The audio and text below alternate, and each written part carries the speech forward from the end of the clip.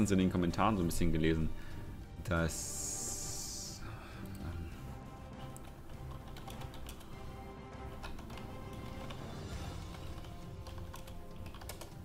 Das muss ich immer dazu schreiben.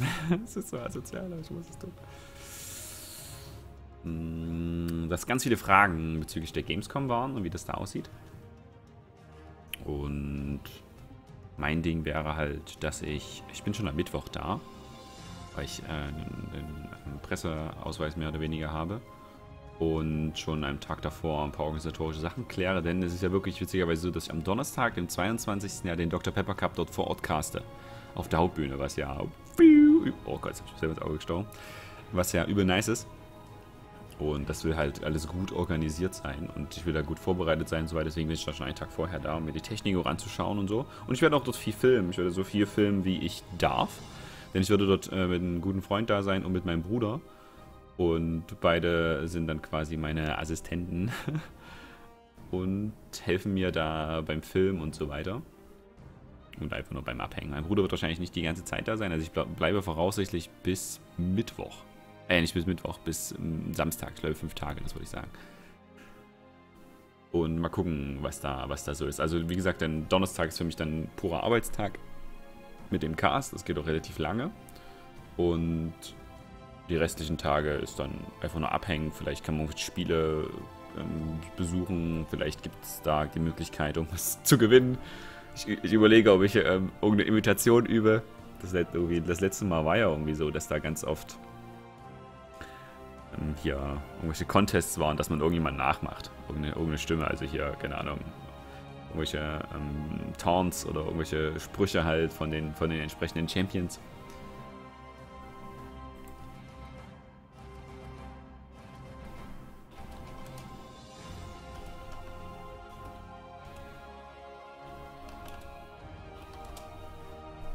Entschuldigung, ich muss ganz kurz zwei Dinge gleichzeitig. Das ist OP, aber ich will ja das Team-Setup.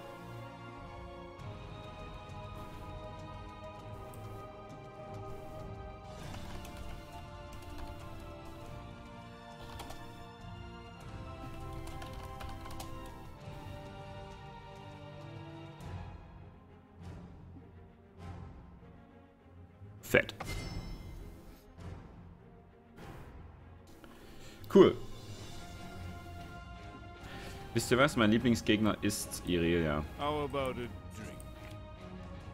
Das war schon in den, in den Seasons davor so, dass Irelia einer meiner übelsten Lieblingsgegner mit Singed war. Ich habe mich extrem wohlgefühlt und übelstes unnormales Selbstbewusstsein ihr gegenüber. Ich hoffe, das habe ich noch. Immer noch. Und ja. Mal gucken. Ich mich eigentlich gegen sie sehr, sehr wohl. Gegen Jarvan ist ein bisschen bitter. Aber Graves ist auch ein angenehmer Gegner. Ge- Graves kann auch ein bisschen kiten mit seinem Dash, aber nicht so hardcore wie, wie Vayne oder sowas. Wenn er Graves einloggt. Aber Vayne geht ja gar nicht. Sehe ich gerade. Ähm, Ezreal wäre quasi noch schlimmer, aber er ist ja auch in unserem Team. Also eigentlich. Ah, Varus ist super. Varus ist voll das Singed-Opfer. Und das sieht gerade aus, als wenn die kein Team zustande bekommen. Draven geht auch. Draven kann ich auch catchen.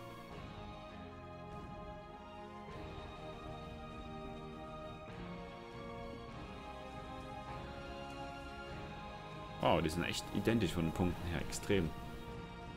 Wenn der Typ gerade noch so über mir ist. Mal gucken. Die fragen, ob ich mal einen anderen Singed auspacken soll. Das kann ich machen. Ich kann eine Hexe Singed nehmen.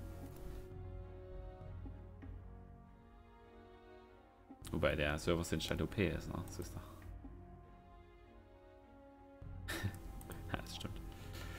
It's true. Oh, ich kann sogar mit jedem traden. Das passiert mir auch nicht so häufig. Gucken, mal gucken, mal gucken. Ich versuche mich jetzt äh, voll zu fokussieren. Und ja, versuche immer möglichst mein Bestes gegen die Irelia zu geben. Naja, die berichten ja alle über ihre Promo-Erfahrung und es stimmt wirklich, dass man gegen wenn man so auf die Promo zugeht, echt wenig Punkte bekommt. Und ja, mal schauen, mal schauen, mal schauen. bin gespidert. Gegen Relia fühle ich mich eigentlich grundsätzlich wohl. Und dann müsste es, müsste es passen.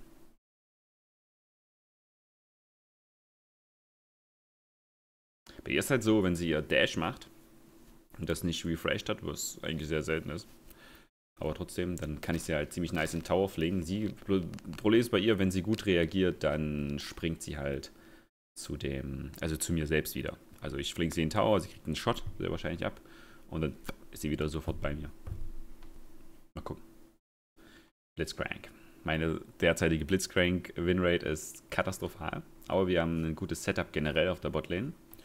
Und er will auch Supporter spielen. Gehe ich mal davon aus, dass er Supporter ist. Und ich selber bin jetzt ja nicht auf der Botlane gegen Blitz, aber ich hoffe einfach, dass da nichts kaputt gemacht wird. Habe mich ja trotzdem für Teleport entschieden, bin dadurch kein Killer auf der Lane. Aber Lee Sin ist sowieso relativ kräftig am Anfang. Und ich kann halt die anderen Lane. Ich finde Teleport total OP. Ich finde Teleport richtig nice. Das ist auch so ein, so ein Ding, wo man, das man verwenden kann. Oder diese kann man benutzen, um einfach auch eine verlorene Lane noch in irgendeiner Form positiv zu beeinflussen. Und Singed ist halt eine, ein Typ, der sehr oft die Lane verliert. Und ich habe so seit 100 Jahren nicht mehr gegen Iria gespielt. Und wie bereits erwähnt, damals war es halt ziemlich schön. Ganz ehrlich. Ähm, hier steht gerade Leona Masteries. Ja, das ist einfach nur der Name. Das, das sind aber das sind meine defensivsten Masteries. Hier fragt gerade jemand, ob ich. Ich nehme nehm mit OBS auf. Open Broadcaster ist das. Und das ist ein totales Standard-Stream-Programm. Es ist free, es ist gut es ist nicht so professionell wie XSplit, aber es ist halt open und wird halt immer wieder, es wird immer wieder dran geschraubt und es gibt da Plugins um, und es ist total cool. Es hat auch nicht so eine hohen Anforderungen an den Rechner. Irgendwie habe ich den Eindruck, dass XSplit mich nicht mag. Oder mein, mein Rechner hier. Und da so ein bisschen rumzickt. Aber vielleicht lag es auch einfach an Twitch. Ich habe das, hab das zu einer Zeit benutzt, als ich Twitch auch verwendet habe, äh, als Twitch große, große Probleme hat. Twitch hat immer noch so ein bisschen Probleme, aber damals waren sie halt echt super huge. Und da hat es halt immer gelaggt und ich wusste nicht, warum laggt denn das? Ähm, fragt gerade jemand, ob ich, äh, Makim, ah, okay, ähm, ob ich was, was mit einem Supporter ist, was den Einfluss im, im Low-Bereich angeht. Und das ist wirklich schwierig. Also ich würde es fast gar nicht empfehlen. Also natürlich muss jemand Support spielen und wenn, dann würde ich einen Support empf empfehlen, der Killer ist. Entweder ein Töter, Tötmaschine ist sowas wie Blitzcrank, obwohl ich ihn eigentlich nicht mag, Thrash und Leona ähm, oder jemand, der extrem gut beschützen kann wie Lulu und Jana. Also sind trotzdem relative Standard-Picks, aber damit kann man halt einen unbegabten AD helfen und trotzdem noch einen großen Einfluss auf das Spiel haben. Also sofort meine Movespeed immer. Ach so, ich hatte letztens Jana.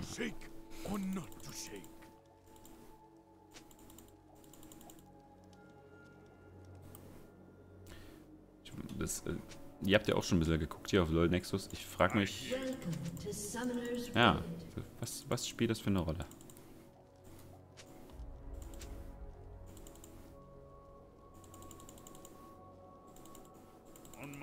Das spielt überhaupt keine Rolle.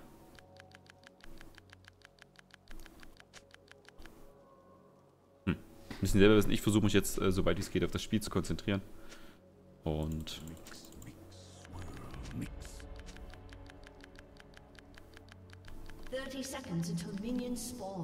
Honesty?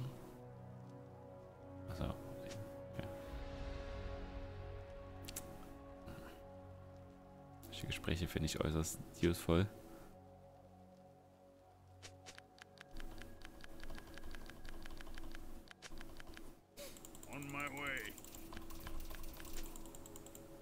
Dem Doran Schild immer so viel HP am Anfang ist immer brachial.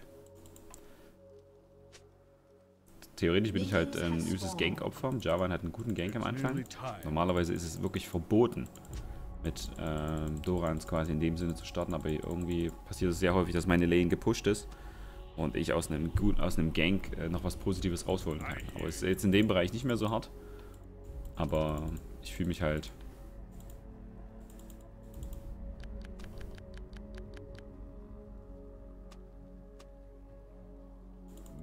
Ich weiß jetzt nicht, was da unten passiert ist. Ah, ich will es ja gar nicht wissen. Wie sieht der Hextech echt cool aus?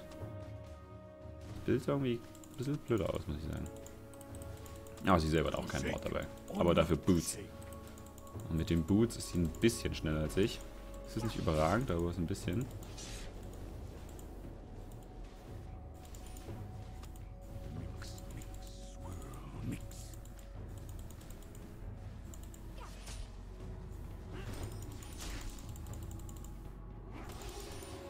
Wird jetzt einfach noch farmen. Farm, farm, farm, farm, farm, farm, farm. Das wird ein bisschen gerade geleckt. Zumindest kann es die Animation nicht richtig durchgeführt. Der deckt mich auch nicht, nicht mehr.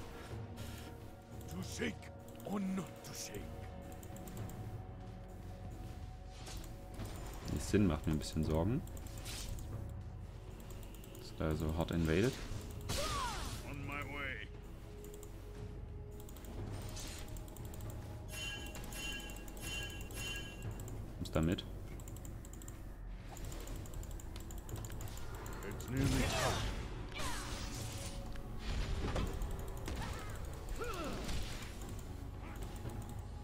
Hätte mich jetzt auto-tanken können. Oh, ich muss aber Ghost verbraucht. Vielleicht war es ein bisschen überreagiert mit dem Ghost. Aber so einer will beschützt werden. Level 2.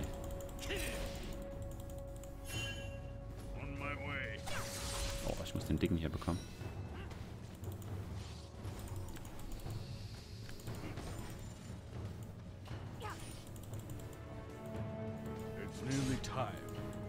Ganz wichtig, dass man darauf reagiert. Also instant reagiert.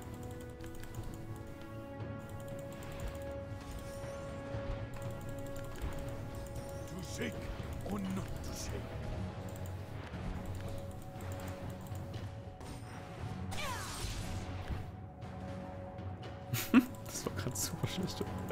Ich hätte viel effektiver werfen können. Ah, sie weiß schon, was abgeht. Der Winkel war schlecht. Darf nicht zu viel Mana verbrauchen. Okay, die weiß anscheinend, da muss irgendein Wort sein. Das war gerade echt eine kleine Panikreaktion. Oh, ich hasse das, wenn so viele Custom Minions da sind.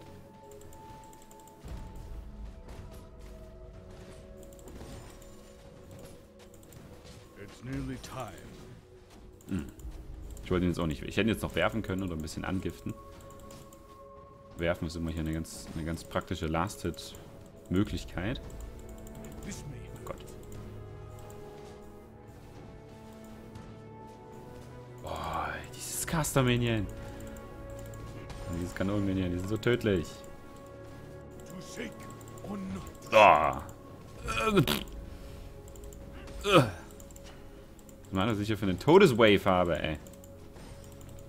So, ich verpiss mich. Was hat die jetzt gemacht? Ah, die war wirklich Base. Okay, hat jetzt auch einen Wort geholt. Ich werde genau das gleiche tun. Ich werde mir, mir eine Träne natürlich äh, bauen, das ist logisch. Und dann warden. Und schon mal ein bisschen anfangen zu stacken.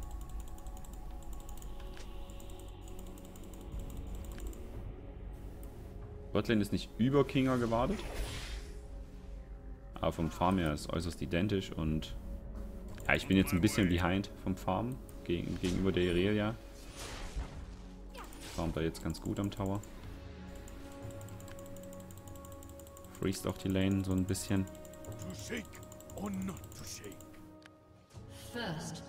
Good job. Das Blatt hat man immer gerne.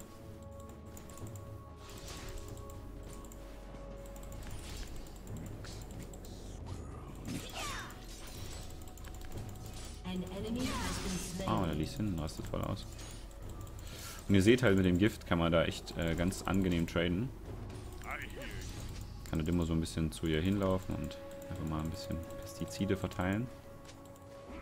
Zwingt sie halt, äh, die Tränke zu nehmen. Och Mensch, Maxine, konzentriert dich jetzt mal.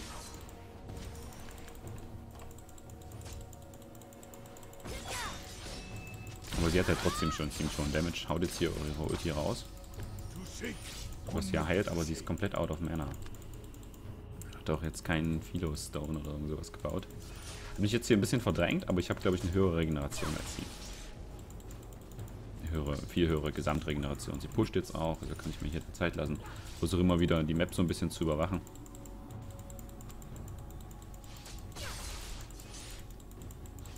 It's nearly time.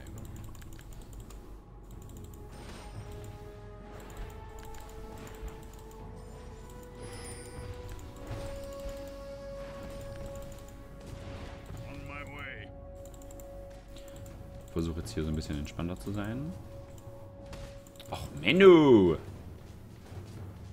Übel.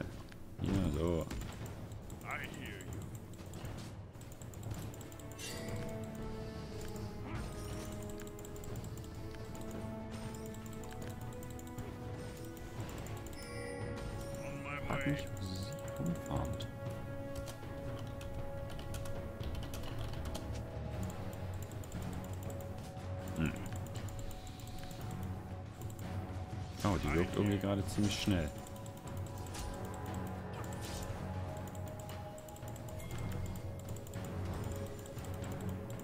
Fate. Wo ist Daniel, mein Lieber?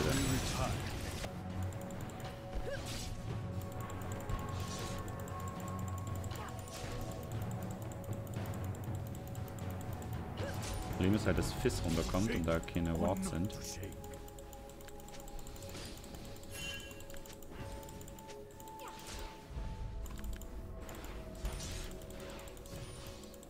Bisschen Angst vor.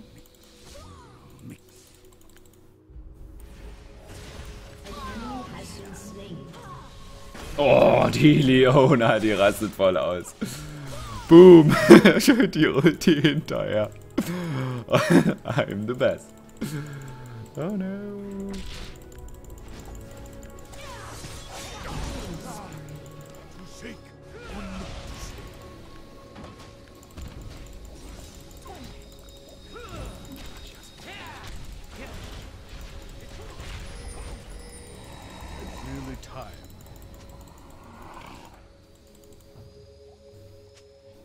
Mist, ich werde wenigstens den K essen müssen, den Javan.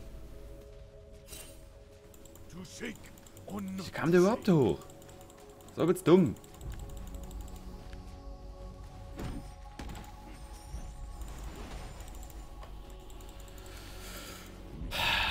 Das hätte mir meinen Goldvorteil so ein bisschen wieder... Oder mir überhaupt eingegeben. Ich bin jetzt vom Farm jetzt nicht überkrass hinterher, aber schon so ein kleiner Maxim-Standard ist auch schon tödlich bei mir.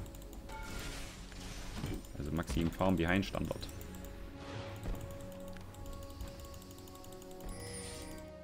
Geht's zurück. Baue, meine, äh, baue mir den Gürtel und hole mir den Wart. Damit ich hier wieder ein bisschen, ein bisschen Sicht habe. Sie hat jetzt auch schon die, das Dings geholt.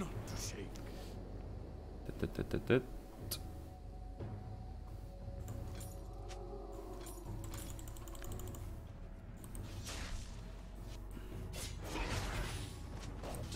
sofort supporten hier hin.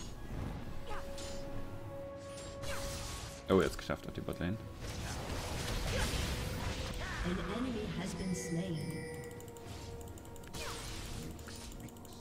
Ich glaube, die kriegen den, da muss ich nicht helfen.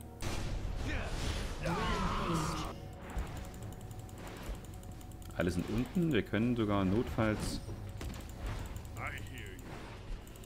Wir können sogar notfalls Richtung äh, Dragon gehen.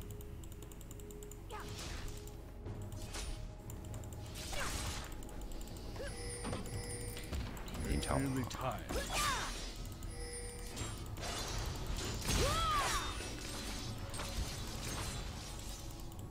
Ouch. Das weh? To shake or not to shake. And that really hurts. Hm. Teamtechnisch riesengroße Vorteile. Lane-technisch bin ich ein Idiot. Selbst gegen die Räder. Aber sie hat halt jetzt, es gibt ja auch jetzt das neue, das Butterk. Und dagegen bin ich erstmal ganz schön machtlos. Also das Vor-Item ist jetzt nicht über Kinger, aber es ist schon ziemlich nervig.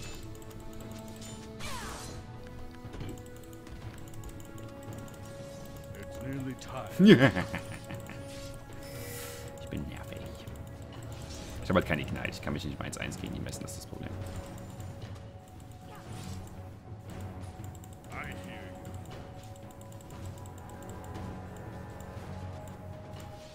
Ignite würde ich sie jetzt wahrscheinlich töten wollen.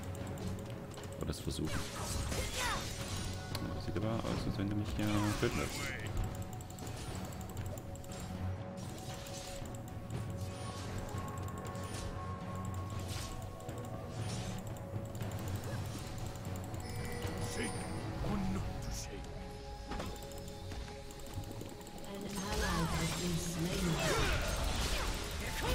Shake Du hast den fetten Lee Sin Kick ins Gesicht bekommen. Komm her.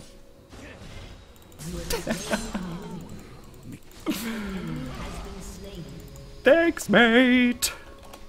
War wichtig.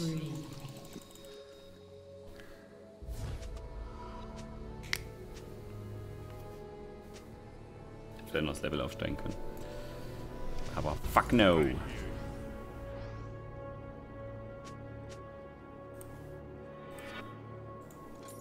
Jetzt mal ein bisschen davon, ein bisschen da und hier noch auf jeden Fall mehr von.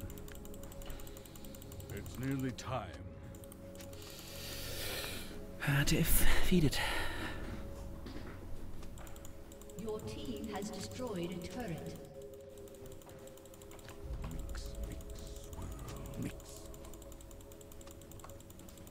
Ja, das ist, halt einfach immer outfahren. Das ist so schlimm, ey. Das ist aber... It's the life of the singed. Teleport hätte ich jetzt auch ein paar Mal zur Lane einsetzen können, aber ich warte wirklich auf einen guten Moment. Ja, das Bot immer noch nicht fertig. Falsch.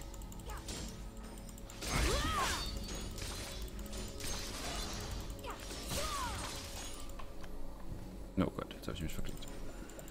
Jetzt hätte ich sie werfen müssen. Ja, der Trade super positiv ausgegangen. Unstoppable.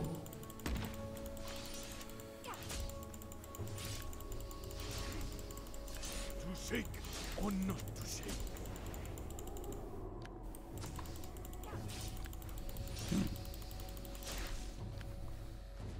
Destroyed Ich bin nervig. Außer mein Team macht alles und ich muss nichts tun dafür. Genau so muss man League of Legends spielen. Ich kann sie nicht töten. Selbst unter einem Tower würde sie mich dann stunnen und killen. Aber ich kann singed sein. Das ist wichtig. It's nearly time. It's nearly time. Oh ja, wird die Stufe 2 ist okay.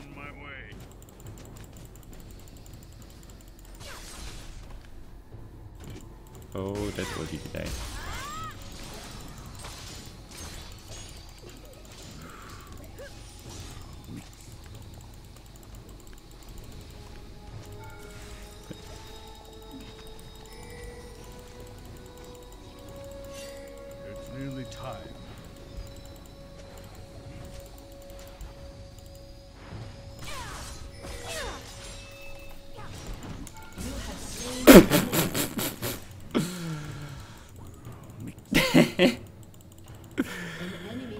Fling des Todes. Das war gerade super bad. Rampage. An enemy has been slain. Ich brauche Boots, merke ich gerade. Das ist doch mal ein billiger Gegenstand, der hyper effektiv ist. Das ist ein Teleport. Oh, hast du Sunfire Last Hit. Mit Teleport.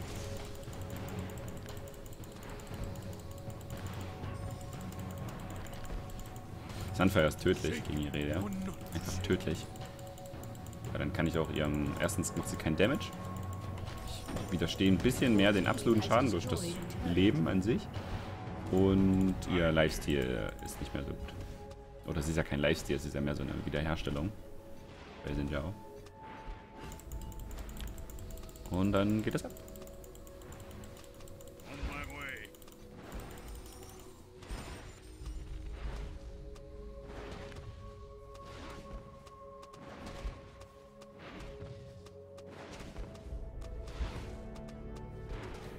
Ja, okay, ich will gewinnen jetzt auch wegen Flame.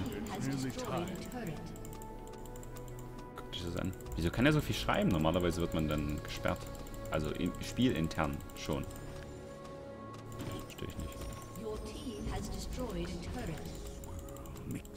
Das verstehe ich nicht. Normalerweise macht es dann plopp. Und es ist wie bei den Pings. Slain. Frag hat jemand in das Abo-Games. It's ranked. Oh, schau, ich kriege 5 Milliarden Punkte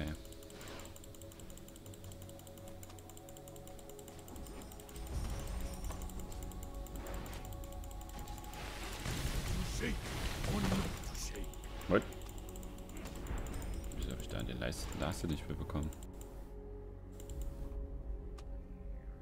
Oh, das Java ein Item-Bild finde ich sehr interessant. Er will seinem Team auf jeden Fall Mana geben. Hm.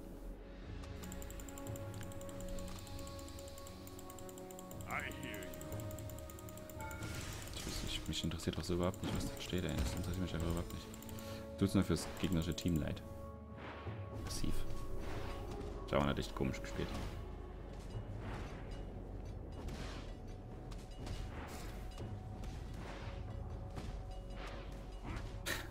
Quatsch, da Nearly time. Your team has destroyed a turret.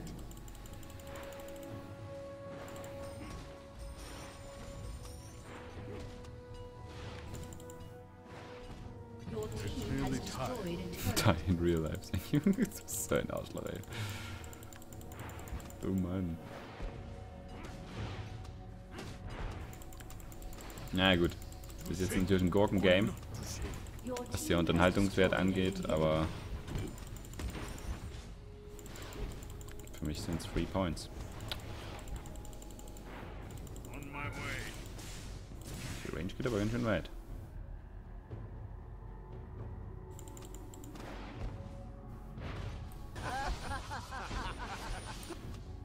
Die lachen sich doch die ganze Zeit aus.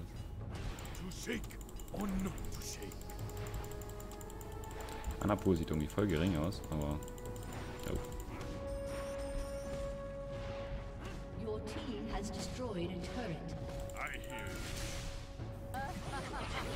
Das ist wirklich super witzig. Das ist Gold 1 und da wurde einfach immer weggekickt. Awesome.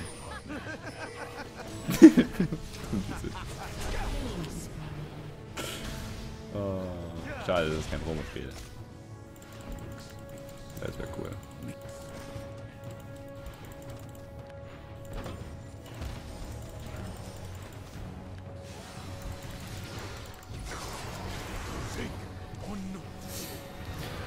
Naja. Naja, naja, naja. Victory! Schenkengaul schaut man nicht ins Maul.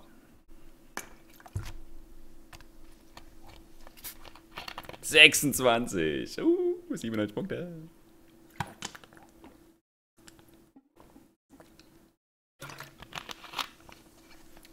Okay. Ich muss jetzt ein bisschen reporten. Und ihr bekommt ein bisschen Musik. Bis gleich.